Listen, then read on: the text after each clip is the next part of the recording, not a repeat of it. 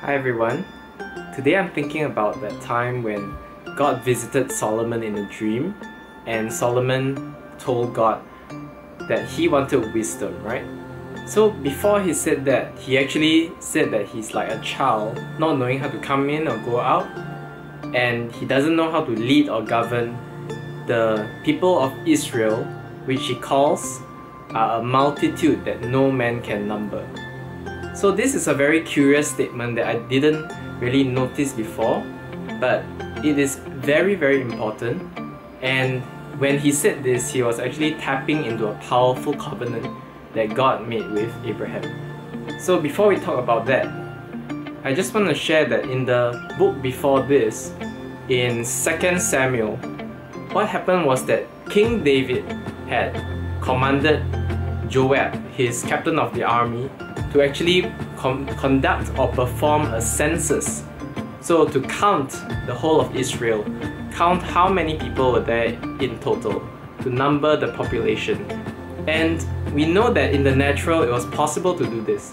So Joab went out all around Israel and counted everyone, and he came back and reported the number to David. So this in God's eyes was a great sin. So great that what happened was God sent a destroying angel to send a pestilence upon the whole of Israel from Dan to Beersheba and killed 70,000 people. So why was counting the people of Israel such a great and huge sin in God's eyes? Well, we must go back to the time when God made a covenant with Abraham to understand why. So when God made a covenant with Abraham, he said that he would make Abraham's descendants like the stars of the heavens and like the sand on the seashore, just as innumerable as that. So when David had tried to count the people, against God's command, and when God had not commanded so, because previously in the book of Numbers, he had actually told Moses to count the people, but that was because God instructed it. But this time around, David was not instructed by, by God, and yet he went to perform a census. So David was going towards sight rather than faith. He was not agreeing or lining up with the covenant of Abraham.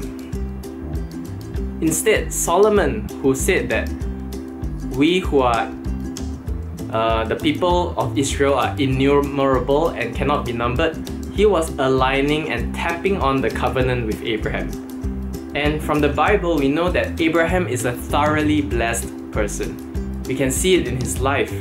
He was exceedingly prosperous, he had many servants, flocks of animals, he had lots of gold and silver.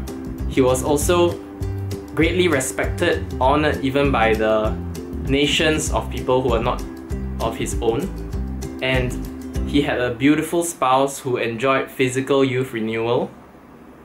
He had descendants and faith descendants innumerable like the stars of the heavens and sand on seashore. He had lots and lots of blessings. Right? So this person, Abraham, is referred to as the father of faith.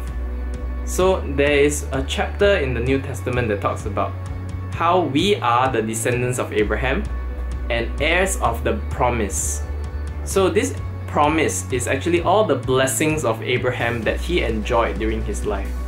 So when you study the life of Abraham, realize that all the good things that he enjoyed, including being a close friend of God, as written in the Bible, having intimacy and closeness with God like a friend, that is ours, that inheritance for us to possess as well. So believe and align yourself with the covenant of Abraham by faith, and you will experience all the blessings that Abraham enjoyed in your very own life. Align your words, your actions, the way you live your life with the blessings of Abraham. Speak by faith, live by faith, and not by sight. And you will surely enjoy all the good promises that God has promised. He is faithful to do it, and He will surely bless you. In this year, 2019, the year of the latter rain, I pray that you enjoy a great, bountiful harvest. That whatever you've been believing for, praying for, will come true in your life and you will reap all the wonderful blessings and be filled with joy and celebration. I pray this in Jesus' name. Amen. Do share with me in the comments what topic you'd like me to share about next, and I look forward to seeing you in the next video. Bye.